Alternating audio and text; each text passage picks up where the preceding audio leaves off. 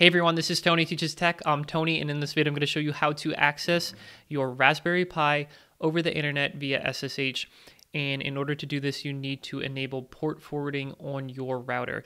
Now, I'll explain what that means in a bit, but I first want to tell you that this is kind of like a, uh, a sequel to another video that I just made about accessing the, this Raspberry Pi, uh, the website hosted on here over the internet. And it turns out that after going through the whole tutorial, um, that my internet service provider blocks port 80. And as you know, port 80 is the port that the HTTP protocol uses.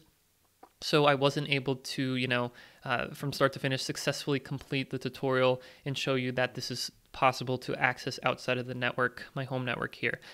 But I found out that my internet service provider does not block port 22, which you may or may not know is the SSH port. And um, that's what we're going to do in this tutorial. We're going to access this Raspberry Pi from an external outside of this network, um, and I'm going to show you how to do that with port forwarding.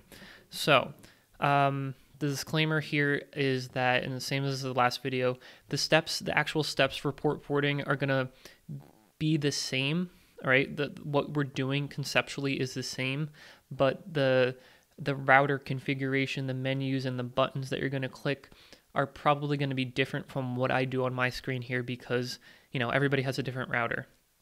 Um, so that's just, I just want to give you that heads up. Uh, but as long as you understand the fundamental concepts in this video, then you shouldn't have any problem um, uh, setting up port forwarding, assuming that your internet service provider doesn't block any ports. So let's go ahead and show you that I'm able to access the Raspberry Pi locally on my local network. So I can do that with SSH pi at the IP address, which for me is 192.168.0.136. Uh, Once the password, and there we go. So we successfully logged in via SSH on our lo local network to the Raspberry Pi.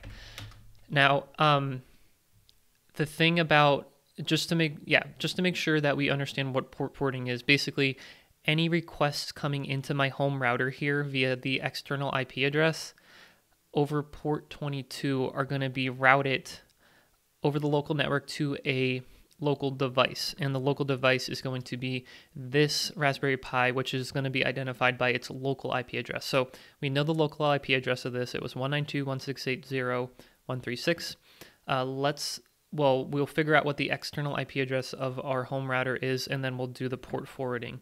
So let's uh, let's set that up. I'm going to open up a, uh, a web browser here, and let's first look up what's my IP, and uh, what's what is my IP address.com will give me the IPv4 IP address, which is this right here. So 6899206145.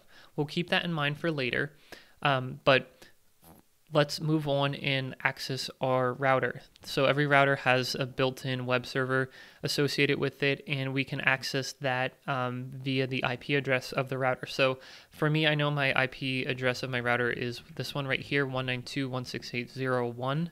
Um, I'll have another video about how to figure out the IP address of your router, which I'll link in this video here. Um, and then as far as credentials, it'll talk about what your credentials are for your router. Um, I'm going to go ahead and log into my router. And in here, this is the part that's going to be different for everybody.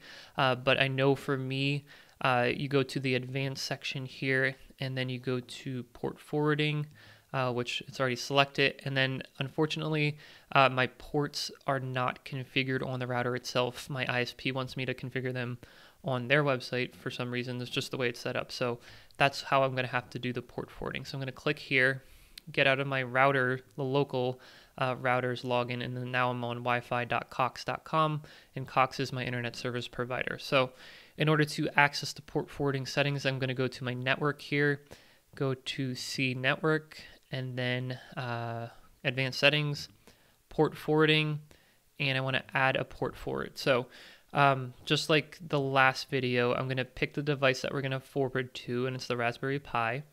And it's going to be a manual setup. We're going to pick port number 22, oops, 22 for SSH. We only need uh, the TCP uh, protocol, not, not UDP. uh, or both, just TCP. And then we'll click on next to add that and that port will be added. So um, just to verify that, so any incoming request to our router, which is has this external IP address, will over port 22 will be routed to this device on the network. So that's port forwarding in a nutshell. Now, there, there's this really useful tool, uh. Um, so we're going to check to see if port 22 is open and it looks like it is. So uh, according to this website, port 22, your ISP is not blocking port 22, so we can access it externally. Um, now, with that in place, I'm going to pick up my phone here. There's an app on this phone called Juice SSH, and Juice SSH allows you to uh, SSH into um, any any type of server out there. So let's make a new connection here.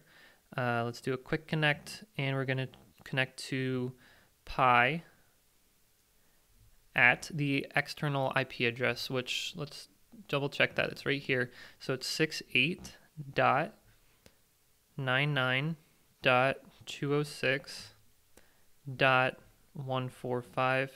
Hit OK. And it's doing the credentials authentication failure. Please enter the password for, for Pi. So I'll type that in.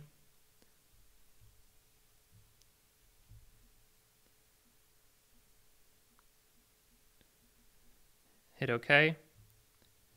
And there we go. We're logged into the Raspberry Pi. So I'll do an ls in here. Uh, you'll see that I have something called wp.txt. Let's verify that uh, on the local connection with the Raspberry Pi just to make sure we're looking at the same thing. And I got the password wrong. Bear with me. Okay, so I also see a wp.txt in there. And let's just make a new file here. Let's do, um, just to test it out, hi dot text, you know, something stupid. Hello. Okay? And now on connect it from the external. Again, let me remind you that uh, I am not connected to Wi-Fi, right? I'm only connected to uh, mobile data 4G LTE. And now we do ls, and we see that hi.txt on our server. So we're definitely looking at the same spot, um, and that to me tells me that port forwarding has been enabled and it's working as it should. So um, with that being said, guys, if you have any questions about the content in this video, let me know in the comments below. I'll do my best to help you out. I want to thank you guys for watching this video. Subscribe to me for more videos like this in the future. And if you do, I'll see you in the next one.